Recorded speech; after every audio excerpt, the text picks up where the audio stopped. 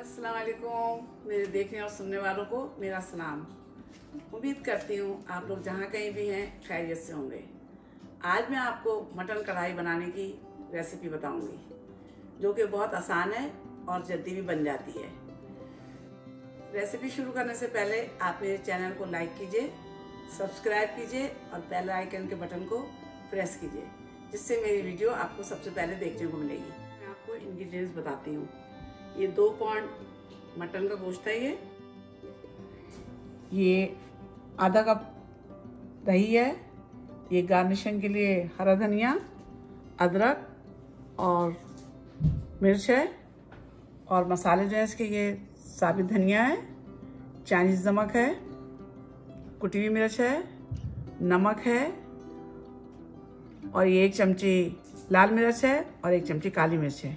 और ये तीन टमाटर है तकरीबन एक पौंड से ये ज़्यादा है। ये एक कप तेल है ये हरी मिर्च है ये दो दो चमचा अदरक लहसुन का पेस्ट है और ये भुना हुआ सफ़ेद ज़ीरा और, और भून के इसको मैंने कूट लिया है। अब मैं इसको गोश्त को पहले गला लेती हूँ उसके बाद फिर मसाला डालूँगा। बस दो चम्मच इसमें ऑयल डालना है और फिर ये गोश्त डाल देना है।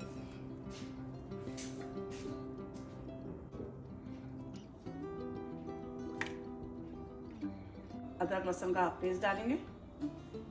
ये थोड़ा बचा कर रखिए जब हम इसका मसाला तैयार करेंगे तो हम उसमें डालेंगे। थोड़ा ये नमक डाल देंगे इसमें।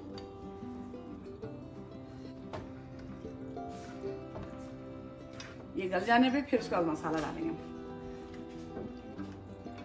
कढ़ाई गोश्त भी बहुत तरीके से बनता है। हर का अपना तरीका अलग अलग है।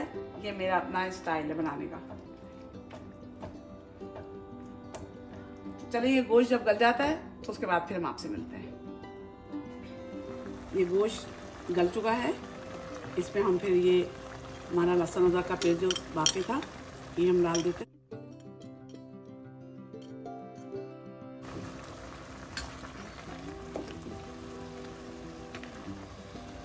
हरी मिर्चें भी मैंने डाल दी थी इसमें। गोश्त गलते वक्त। इसमें हम लाल मिर्ची का पाउडर डालेंगे।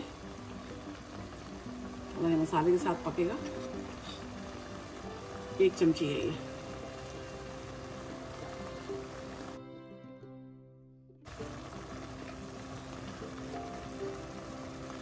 ढक्कन ढक थोड़ा सा तब हम इसमें टमाटर डाल देते हैं।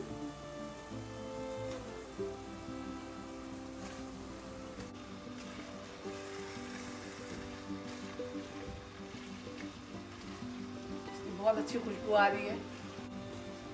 थोड़ा टमाटर भुन जाए तो फिर मैं तेल डालूँगी और फिर बाकी मसाला डालूँगी। इसका टमाटर भुन चुका है। अब मैं ये इसमें दही डाल दूँगी। आधी प्यारी दही है।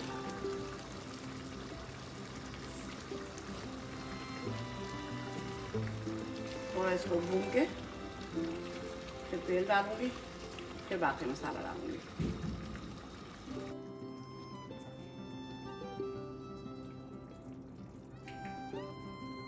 दही मिक्स हो चुकी है। ये बकिया मसाला जो है, ये अब मैं डालती हूँ। इसको चला के खुशबू तो बहुत अच्छी आ रही है।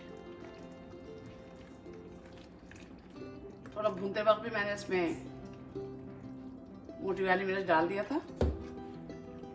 अब मैं इसमें ये कुटा हुआ ज़ीरा और साबित धनिया, ये अदरक, हरा धनिया, ये मिर्च है। इसको मैं पाँच मिनट के लिए ढकती हूँ, फिर आपसे मिलती हूँ।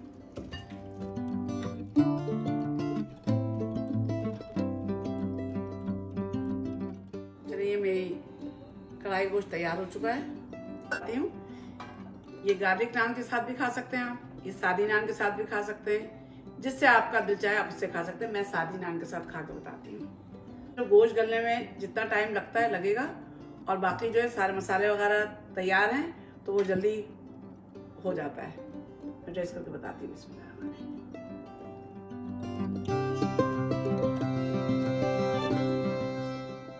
बहुत ही अमी है। बहुत अच्छा बना है। आप लोग भी इस रेसिपी को ट्राई करें और फीडबैक दें ये कैसा बना है। चलिए मैं आप फिर दूसरी नई रेसिपी के साथ, इंशाल्लाह ताला फिर हाजिर होंगी। जब तक के लिए अल्लाह हाफिज़।